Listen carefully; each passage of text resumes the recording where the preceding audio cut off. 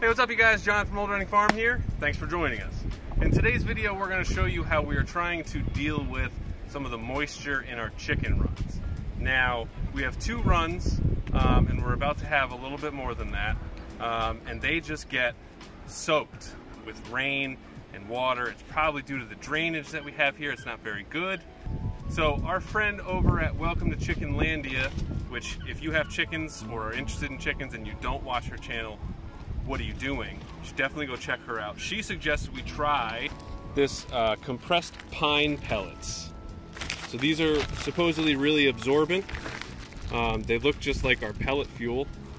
Um, and so I guess they're, they're really made for horse bedding, uh, but apparently they're really, really absorbent. So what we're gonna do is we're gonna take these, and we're gonna kind of lightly spread them out. We're gonna see uh, what it does, because we had a big rainstorm just yesterday, it rained all day. So we're gonna put them down and see if that absorbs some of the moisture.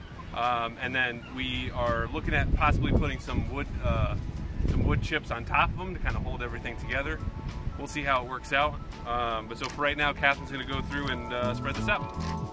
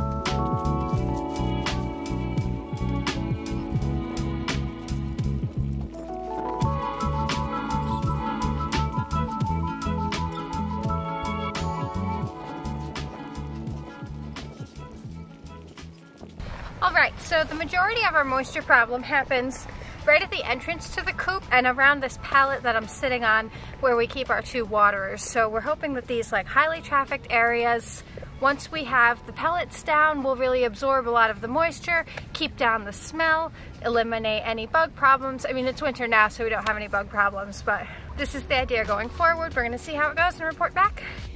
Pepper's doing a little bit of inspection. Pepper, what do you think? Much drier? Pepper, this bedding is for horses, not for cows.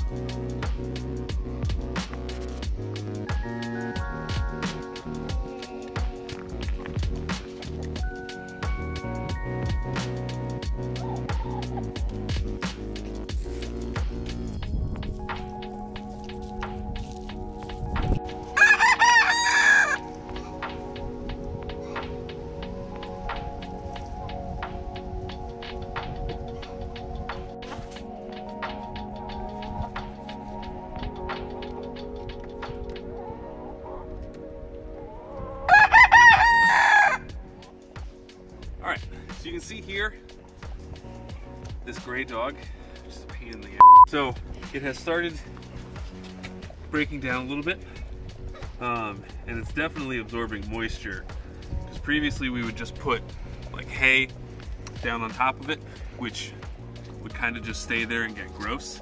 So this is nice that it's actually um, it's actually doing a good job of absorbing moisture because even like this morning, like you would step right Well, here. we can compare it to this. Right. So, By the way, do you like John's shoes? Walmart Croc special, baby. Can't even see his feet. Yeah. What? Okay. So, all right, so here we are a week later, and this is what we got. So you can see it's all kind of disintegrated. This is what it looked like when it started. These are a little bit different, but so this is basically what it looked like when it started, and now it's like this, you know, It's almost like sand, kind it of. is, It is almost like sand. So it's and and so like I guess and you know the chickens have kicked them all over the place. Um, but overall, this has been amazing.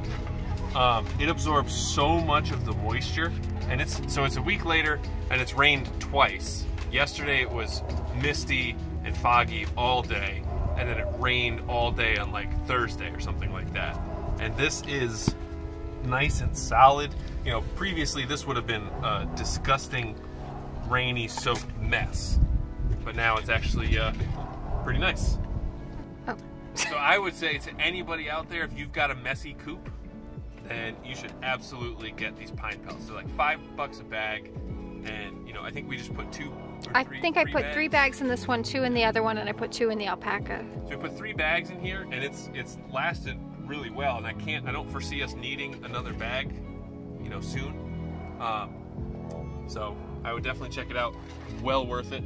Big thanks to Dahlia over at uh, Welcome to Chickenlandia. We'll put a link to her channel in the description below. Um, you should definitely check her out. Thank you guys very much for watching this video. I really appreciate it. Please give us a like, leave us a comment, let us know what you think. As always, please subscribe. Thanks for stopping by. Bye! By the way, we go live every Wednesday at 7 p.m. Eastern Time.